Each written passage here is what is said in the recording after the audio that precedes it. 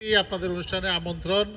সব কিছুর জন্য আমার পক্ষ থেকে আপনাদেরকে ধন্যবাদ জানাই এবং আমরা, আমি যেহেতু আমরা রাজনীতির সাথে সম্পৃক্ত আছি যে আমি জেলা আওয়ামী লীগের সাধারণ সম্পাদক লক্ষ্মীপুর জেলায়।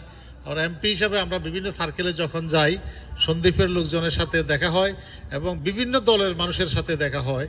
আমাদের ব্যক্তিগত জীবনে আমরা আপনাদের সন্দীপের লোক পেলে আপনাদের এই- সংগঠনের কথা বলব।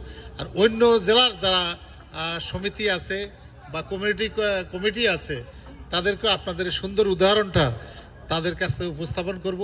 সন্দীপবাসী সম্মানিত থাকুক সন্দীপবাসী আরও ভালো থাকুক।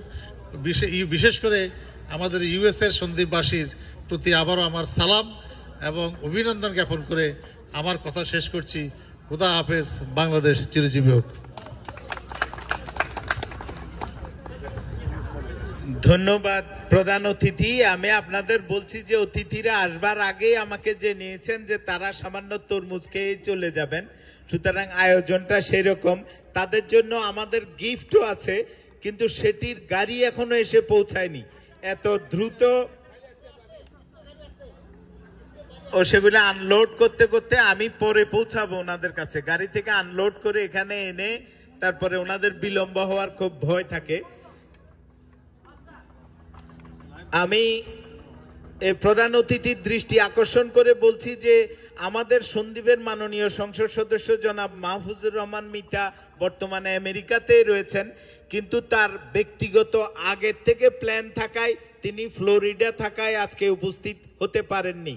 কিন্তু আমাদের বিনীত অনুরোধ থাকবে সন্দীপের যোগাযোগ বিষয়ে যখনই মাহমুজুর রহমান মিতা কোনো কথা বলবেন, তাতে যেন আমাদের আজকের অতিথির জোরালো সমর্থন থাকে।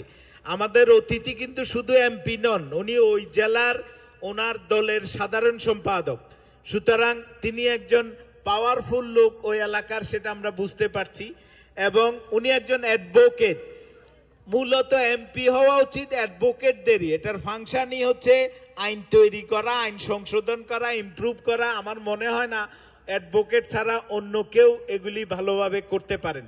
আমি মন্টু ভাইয়ের দৃষ্টি আকর্ষণ করে বলছি যে রিসেন্টলি সিলেটে যে বন্যা হলো, আপনার পাশে বসা আমাদের সন্দীপের মুক্তিযোদ্ধা জানাব আবু জাফর মাহমুদ, তার বিজনেস বাংলা সিডি প্যাপ থেকে প্রায় দু হাজার লোকের জন্য প্রায় দুই সপ্তাহ বাইশ পরিবারের জন্য খাওয়ার দাওয়ার পাঠিয়েছেন হাওর অঞ্চলে। রোড কমিউনিকেশন অঞ্চলে না, তারা নেভালি সেখানে গেছেন। এটা হচ্ছে সন্দীপের লোকের এবং এখানে সন্দীপ নিয়ন্ত্রিত চারটা মসজিদ আছে ওখান থেকে যে পরিমাণ ফান্ড উঠেছে, আমি মুগ্ধ হয়েছি যে সন্দীপের লোকেরা শুধু দ্বীপাঞ্চলেই নয়, বাংলাদেশের যে কোনো অঞ্চলের জন্য তাদের প্রাণ কাঁদে এবং তারা করে, তারা এগিয়ে এসেছিল তো আমরা শেষ করতে চাই, যেহেতু অতিথিকে বিদায় দিতে হবে, আমি.